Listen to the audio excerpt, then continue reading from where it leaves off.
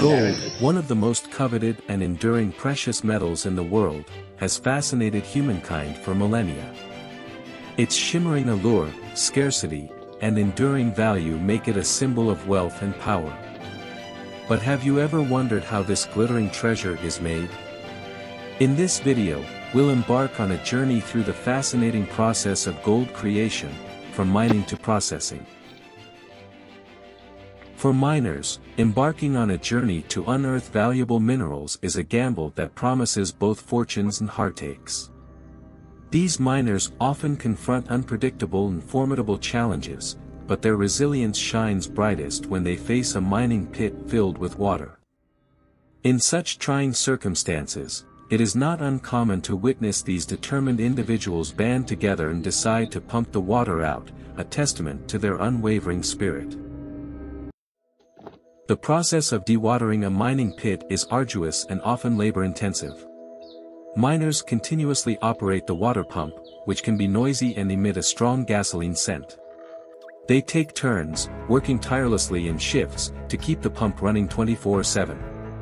It's a race against time, and the miners are acutely aware of the lost income that each passing day represents. This struggle is not just about economic survival, it's also about ensuring the safety of the miners. The presence of water in mining pits can lead to cave-ins and other hazards. By diligently pumping out the water, these miners not only reclaim their livelihoods but also secure their lives in the process.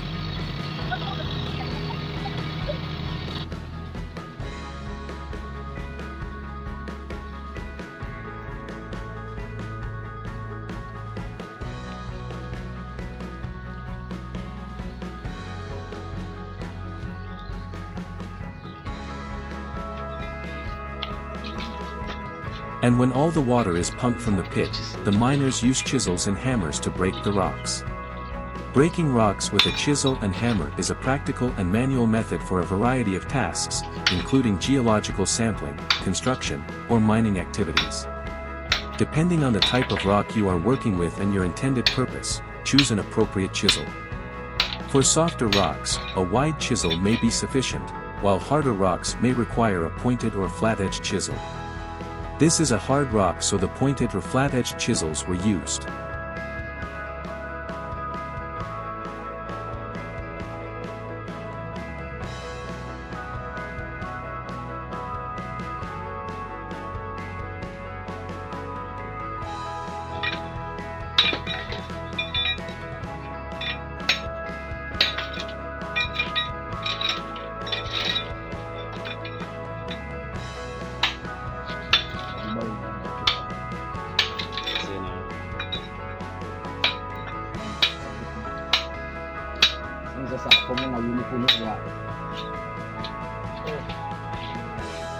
Air compressors are crucial pieces of equipment in mining, particularly for drilling operations. They provide a continuous source of high-pressure compressed air, which is used to power pneumatic tools, machinery, and drilling equipment. In mining, air compressors serve a range of essential functions, making drilling operations more efficient and productive. The process begins with the drilling of holes in the rock or ore. These holes are strategically placed to maximize the efficiency of the blast. The size, spacing, and depth of the holes depend on the specific geological conditions, the type of explosives used, and the desired fragmentation.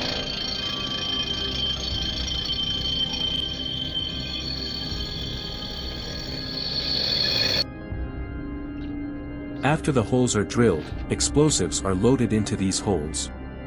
The type and amount of explosives used are carefully calculated to achieve the desired blast results.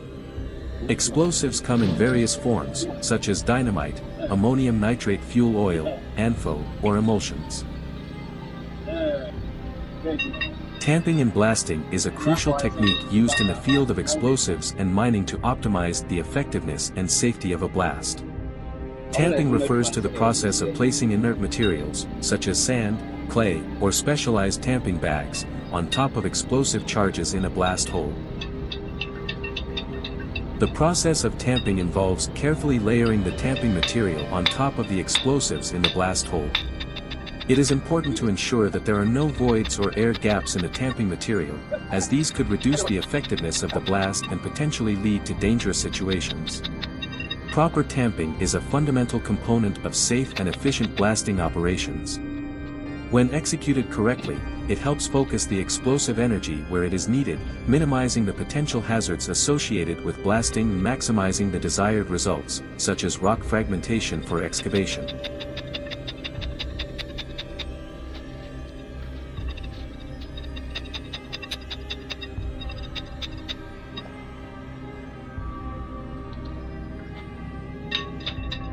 Blasting is a fundamental and highly controlled process used in mining to break rock, ore, and other materials in order to facilitate excavation and extraction of valuable minerals or resources.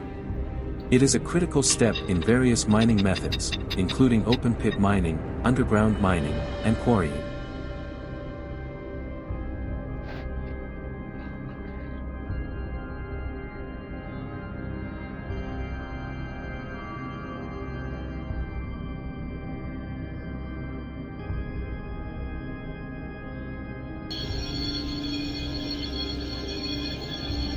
After the blast, some of the rocks break into larger sizes which can't be fed into the crusher. For this reason, the rocks are broken into smaller particles using a hammer.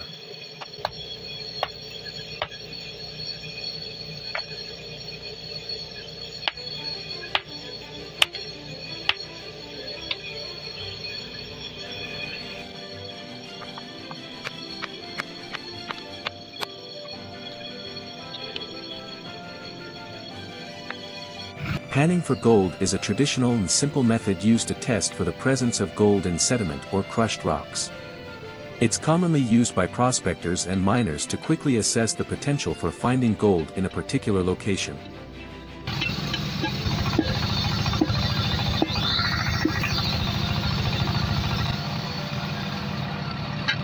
Panning for gold is a skill that improves with practice. It's an effective way to determine the presence of gold in a sample, and it can be a rewarding activity for prospectors and hobbyists. Remember that while panning can help you find gold in small quantities, large-scale gold mining operations use more advanced methods for efficient extraction.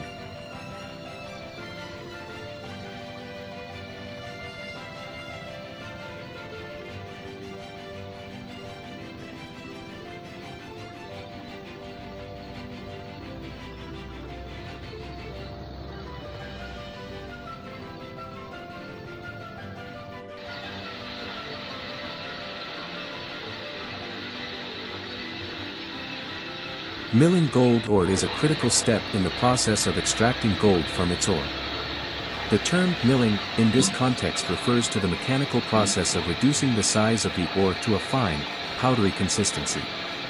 This is done to liberate the gold particles from the surrounding rock or mineral matrix, making it easier to extract the valuable metal. Milling is a crucial stage in both small-scale and large-scale gold mining operations.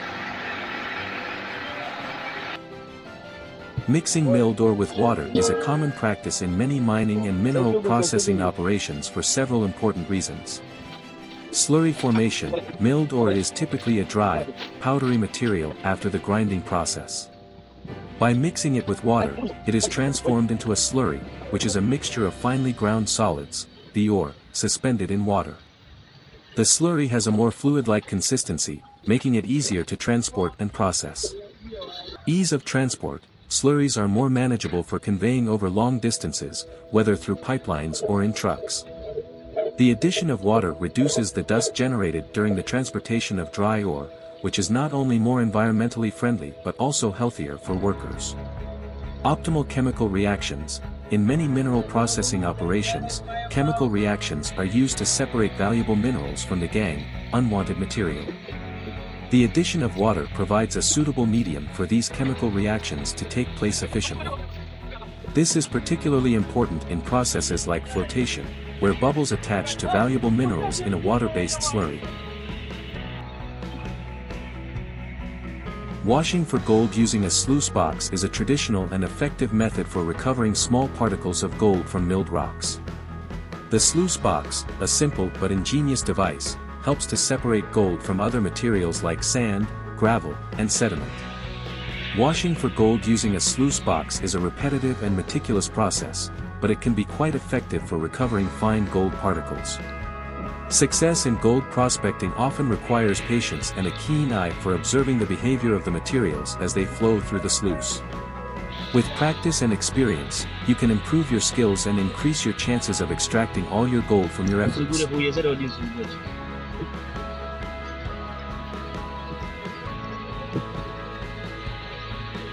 Gold-mercury amalgamation, also known as amalgam, is a centuries-old technique used to extract gold from ore or alluvial deposits.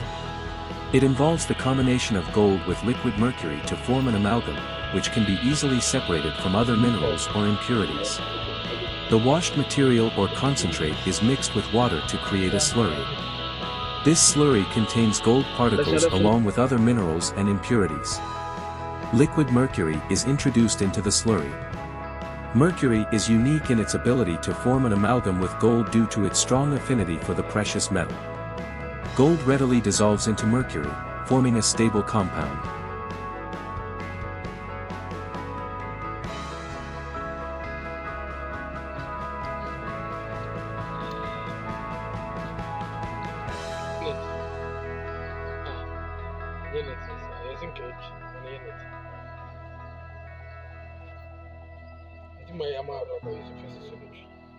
As the amalgamation process progresses, gold particles in the slurry combine with mercury, forming a gold-mercury amalgam. The amalgam appears as a silvery, heavy liquid or solid, depending on the mercury-to-gold ratio. The amalgam is separated from the remaining slurry, typically by gravity methods. Since the amalgam is heavier than other materials in the slurry, it settles at the bottom or can be collected by using techniques such as straining through cloth or fine sieves.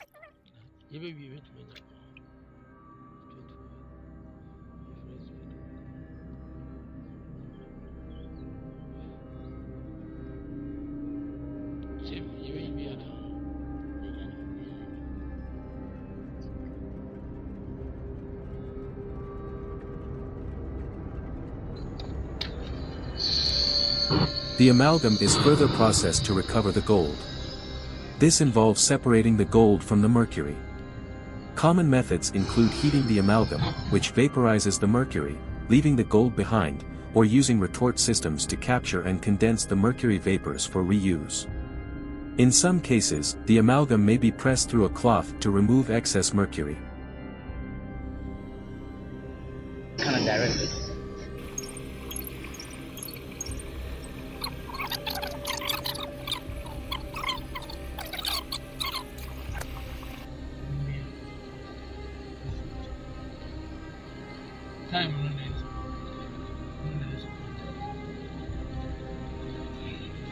Ismail.